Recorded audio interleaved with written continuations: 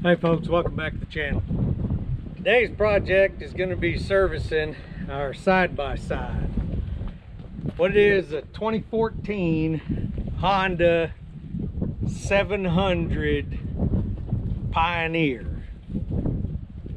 And what we need to do is change all the filters, check the fluid levels, check the brake pads, check the antifreeze, all of the things you would do to to service one to get it ready to be used for the season.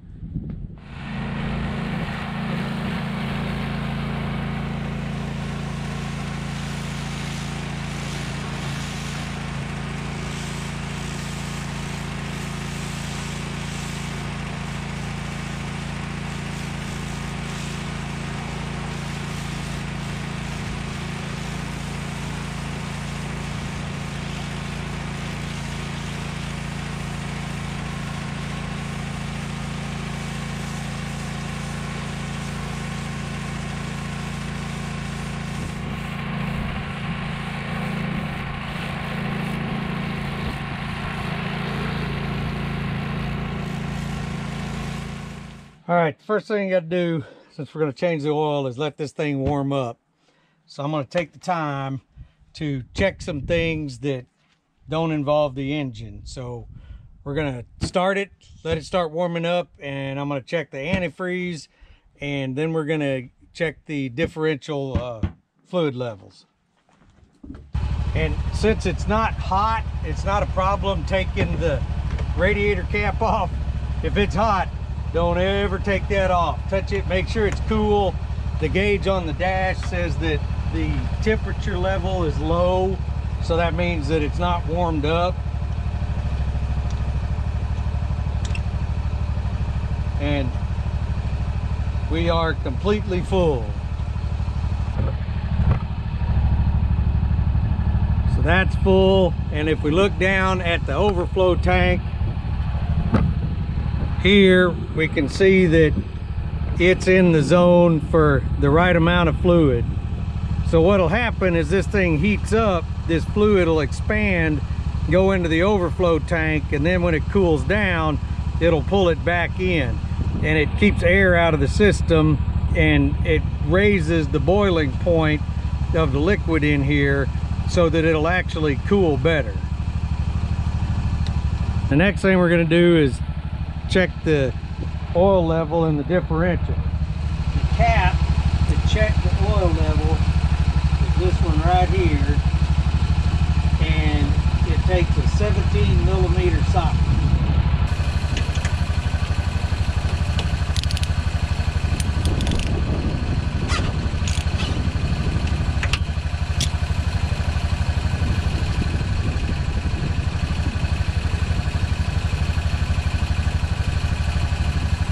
and the level on it's perfect. It looks good. You want it to be just touching the threads. And it's not dirty. I don't see any metallic flakes in it so this one's good. We'll go back and check the back.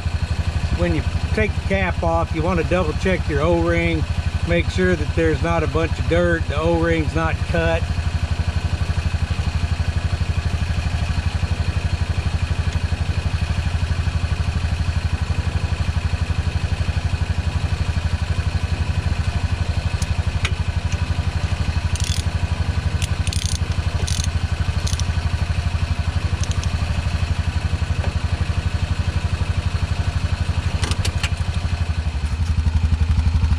Okay, so this is your back one. It looks the same. Um, and same thing. 17 millimeter ratchet or socket, or you could use a wrench on this one.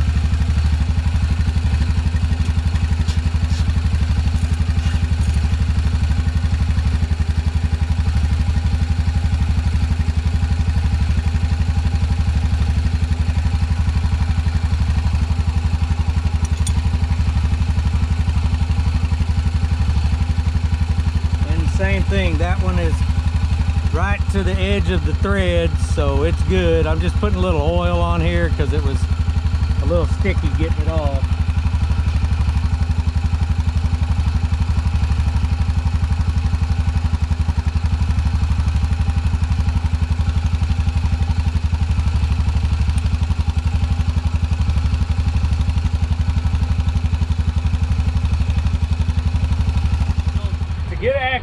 change the oil on this, you need to take the seat out and raise your bed up. The seat, you just pick up on the front, just snaps in, pull it forward, and set it out. These little rubber grommets go around studs that are under the seat, and these hook in the back. To raise the bed, it's just this handle here. To get access to the all you do is grab the back of this, pull it over the hooks at the back, and then just fold it forward. And your dipstick is down here, you'll see it on the side of the block. Right here. And this is your oil fill neck. So when we get ready to drain it, we need to take this off so it doesn't pull a vacuum and it'll let the oil drain out faster. All right, to drain the oil, you've got to remove these four bolts out of this access panel in the skid plate and slide it to the side. And I'm hoping that these bolts haven't gotten rusty and it strips out one of these inserts. if you stick your arm up in here like I just did, be mindful of that exhaust pipe because if you let this thing warm up, it's going to be hot.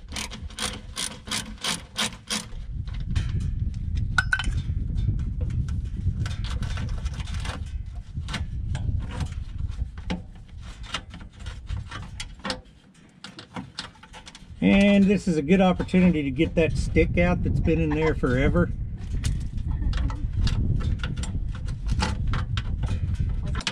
All right, there we go. That cross member in there kind of wedges it up. The drain bolt is this one right here. And it's a 17. So that's convenient. My drain pan is just a mortar mixing pan. They're usually big enough that you can catch whatever mess you're going to make. And this bolt is really long.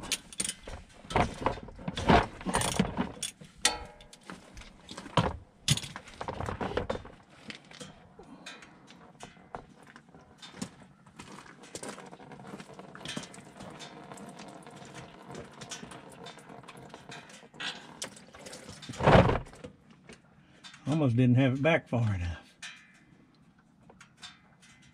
And usually if you buy the kit, the kit will come with a new crush washer. I don't believe there's a new O-ring. I'll have to double check. But if you put the new crush washer on, you're going to have to take that O-ring off. Okay, the oil change kit that I got was just off of Amazon, but it is all Honda products. And the one for this specific side-by-side -side comes with four quarts of oil. It takes 3.1 quarts with the filter change. It came with the oil filter. There's the part number. It comes with a cute little disposable funnel. Look at there. It's a kite. And it comes with a new crush washer for that uh, drain plug. So I'm gonna pull the O-ring off, hopefully without cutting it, put the new crush washer on, and if I do cut that O-ring, I'll have to go into my stash and get another one. All right, this O-ring's still good. It's proud of the shank on the plug. It's still pliable, so it's not hard. A lot of times heat will degrade these, so you can just roll it off pull your crush washer off.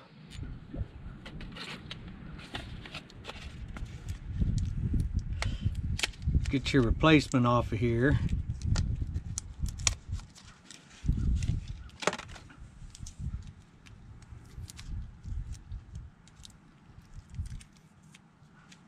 Make sure you get all this good tape off of here. Stuff's probably made in China. Good Lord. Put your crush washer back on. And then roll your O-ring back over. Double check your O-ring. Make sure you didn't crack it or cut it. And looks good to go. So now we need to put this back in. And then change out the filter.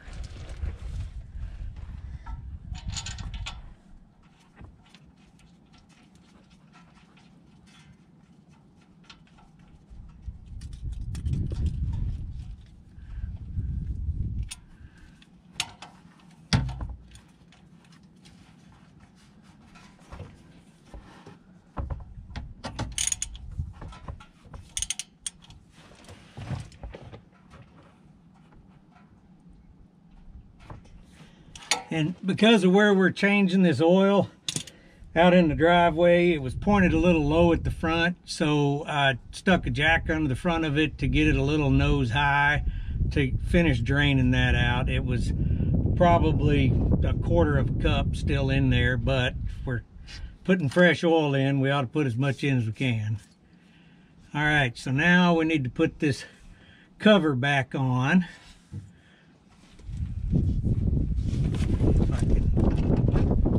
what I did with it. Oh, there it is. Uh, and of course, like all new vehicles and equipment, changing the oil makes a mess.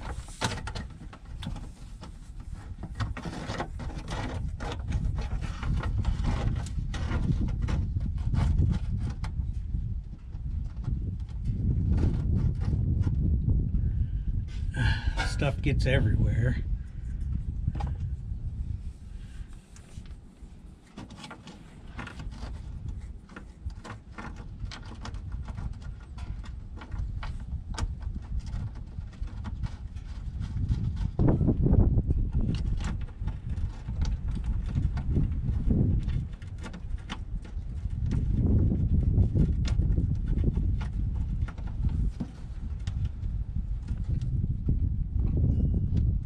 I guess if the oil gets everywhere, don't have to worry about the threads rusting up on those bolts.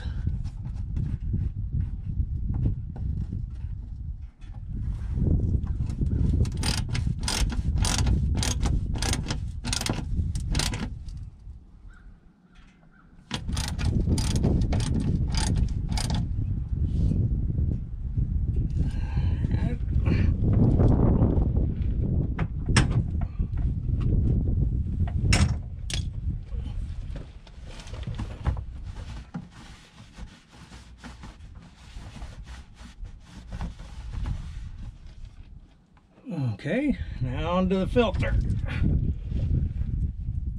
All right, to get to the filter, it's just like on the other side. You've got a little rubber cover that goes over it, and you pull back off of these hooks,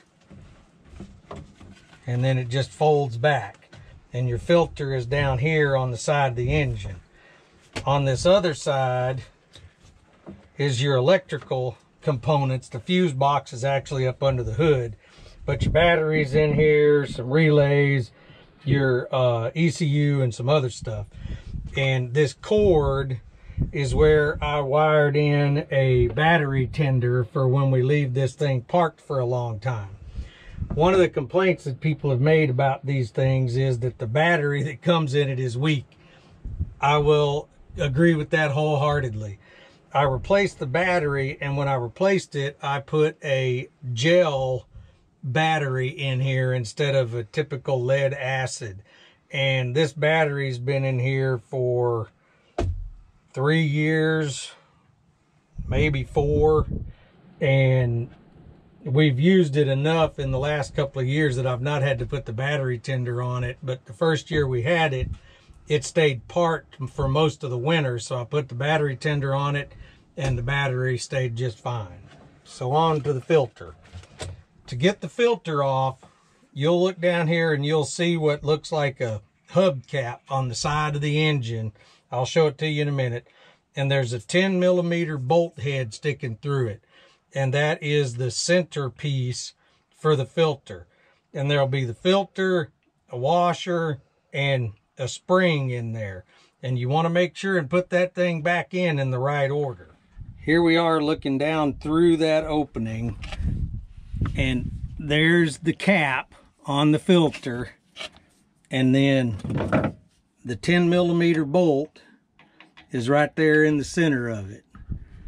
It's kind of hard to see down in here, but that's where it is.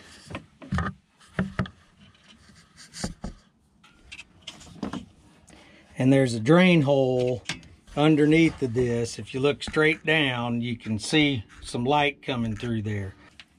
It's not a 10 millimeter, it's 12 millimeter. The 10 millimeter is for the plate underneath. Of course, you can not be held in too low a disregard for thinking that it's 10 millimeter because dang near everything else is.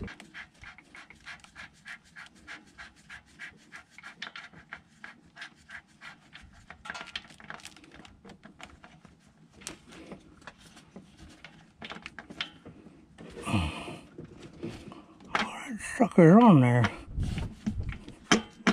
Come on off of there. Well, there's the centerpiece.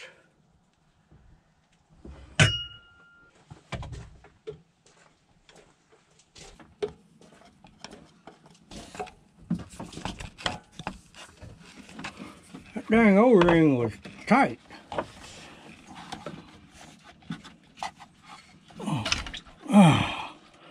There we go.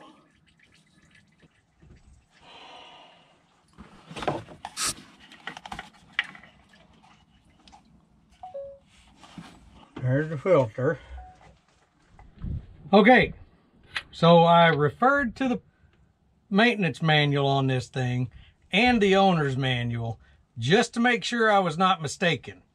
And the way this goes together, there is supposed to be a spring that goes in here and then a washer and then your filter slips on and when you tighten it all down it pushes the filter against a mating flange on the inside of the case in the oil filter housing or opening or hole and what has happened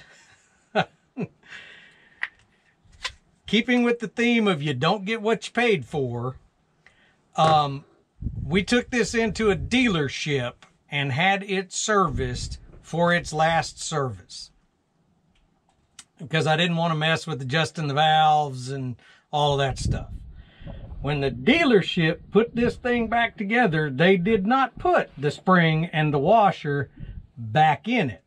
So for this last maintenance interval, it's not been effectively filtering the oil. I didn't find any metal shavings or anything in the oil. I didn't find any in the bottom of the oil filter housing.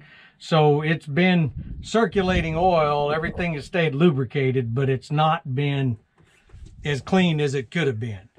So what I'm going to do is put this back together because we ran it without the right parts in there order the parts, and then when the parts come in, I'm going to take the filter housing back apart, put the spring and washer in there, put it back together, and top off any oil that we've lost. So I'm going to continue to service this just like it was back together correctly, show you the oil and all of that, and then I'll put it back together correctly once I get the parts in. Okay, so I'm going to put this back in and then when the filter when I get the spring and the washer in take it back apart and put it back together correctly. It was running so we know that it will run without that. It just doesn't filter the oil very well.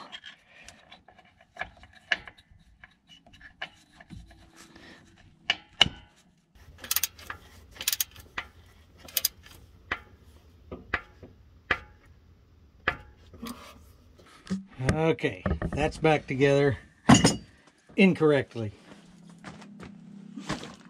All right, like I said previously, with a oil and filter change, it's 3.1 quarts of oil.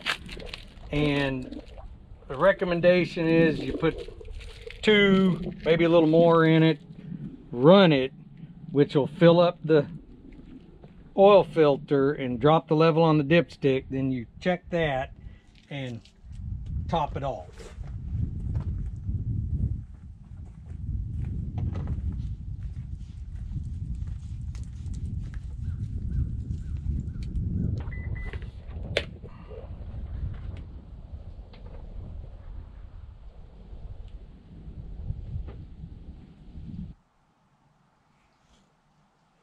Okay, it's about half of that third quart. Start it up, let it fill up the filter, and then we'll check it.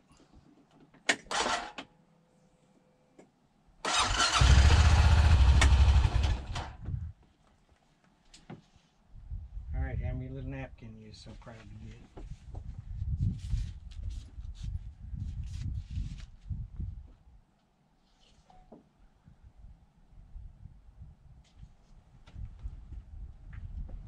Not even touching the dipstick.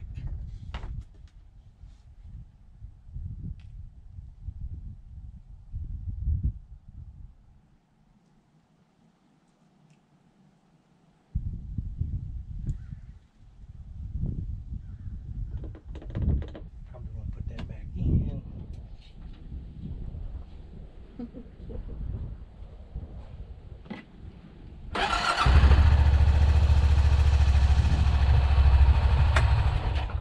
Because this.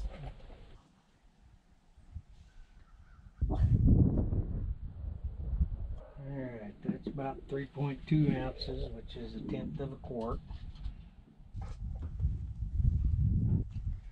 In the middle. So since we gotta take that filter housing back apart, I'm not gonna worry about getting it completely full until we fix the filter. Okay. to reset the maintenance indicator on your gauge cluster, you hold in this button and then turn the key on. And then the wrench should start flashing and then go away. And now your maintenance interval indicator is reset. All right, last thing I need to check is the air filter. Which are just, this is your air filter housing. There's your fuel injection unit. You just pop the spring clips off, pull the lid off, and see what kind of treasures are inside. Ooh, there's a lot of treasures in there. It's really not too bad as dusty as it is out here. Don't me go, don't go get the other one.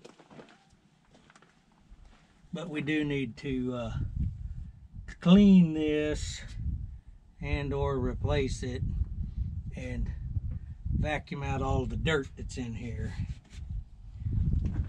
If you don't want to fight with a Phillips screwdriver, that screw clamp that's on here is a six millimeter head.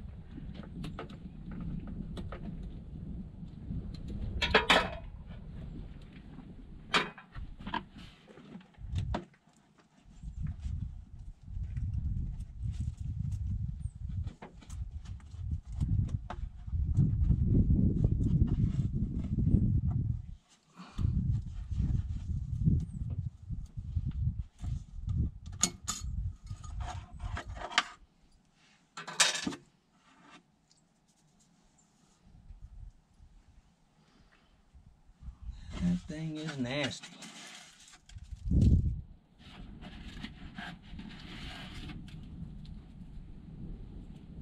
Now, to clean these filters, I just use a, a putty knife and scrape the bigger stuff off of the outside.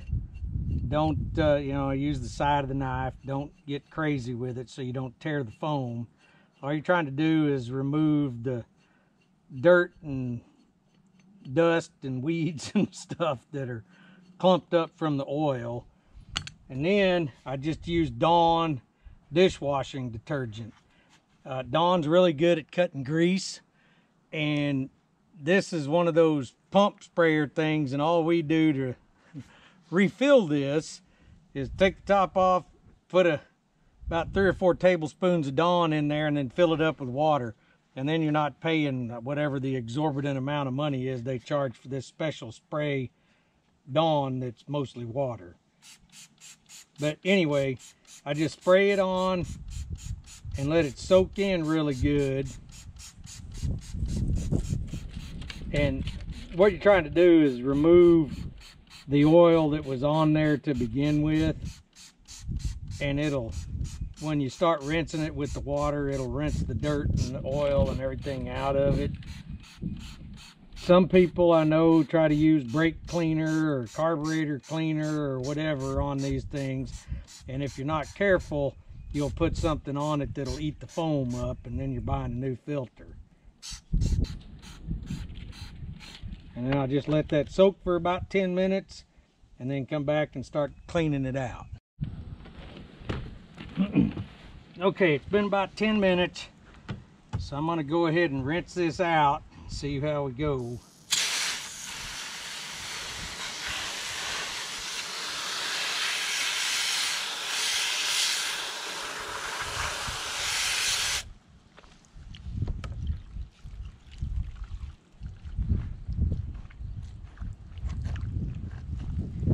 just want to squeeze it and work it around and see how much cleaner it's coming out.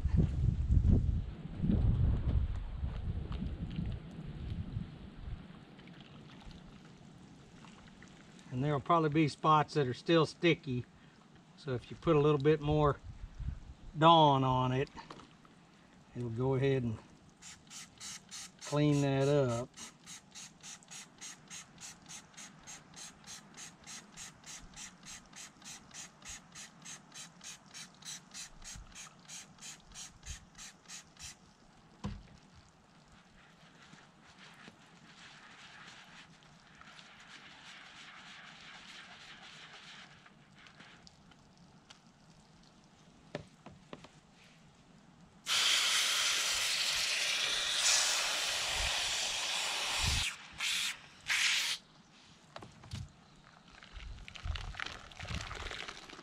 I don't know if y'all can see how brown that water is. You see how dirty that is. So that means that filter and oil was doing its job.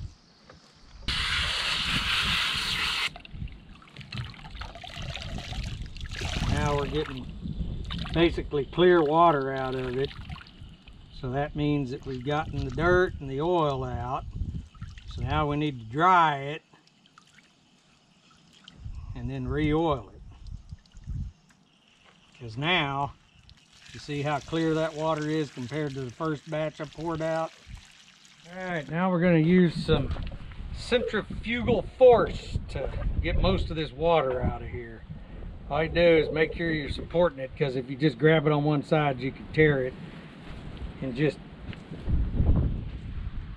sling that water out. And then I take paper towel and finish drying it.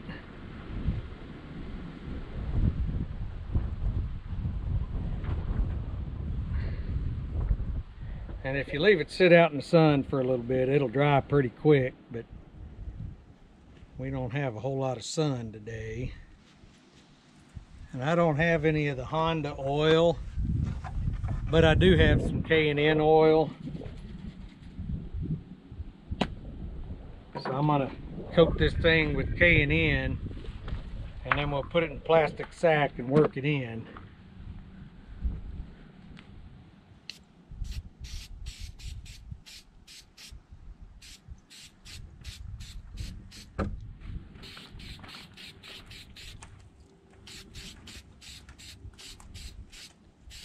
And you don't want it to be drenched, but you want it to be covered.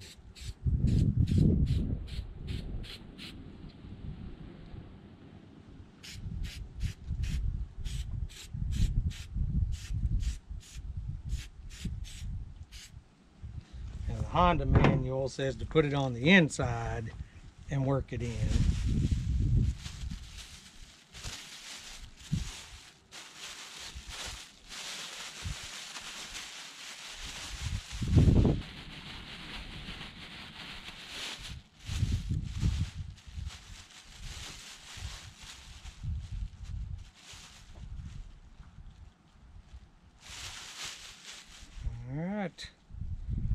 is one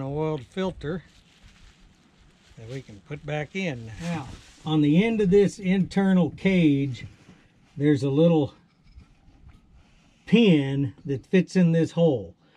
And so what you need to do is kind of collapse this down and work it around here, but don't get crazy picking up on your air intake boot.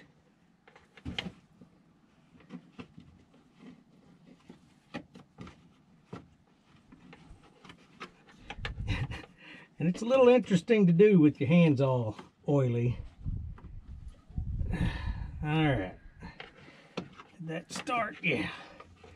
And you just work it back down to where it was and you can see because it'll be a clean spot.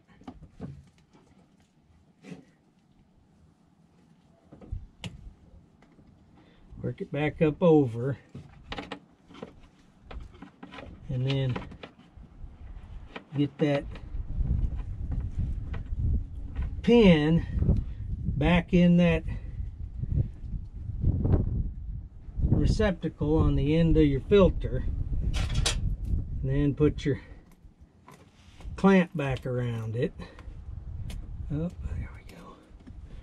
And make sure that you're seated down fully so that you don't have any unfiltered air getting into your intake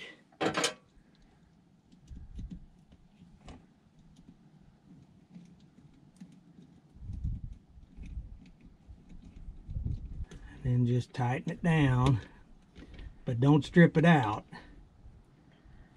All right. There it is.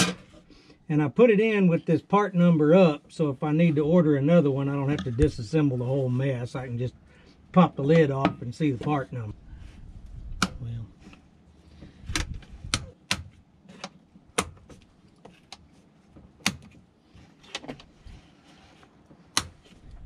All right, folks, I think that's going to wrap up mostly this servicing of this side-by-side. -side. Once I get the spring and washer in, I'll fix that oil filter correctly, unlike the dealership that had it to fix it before.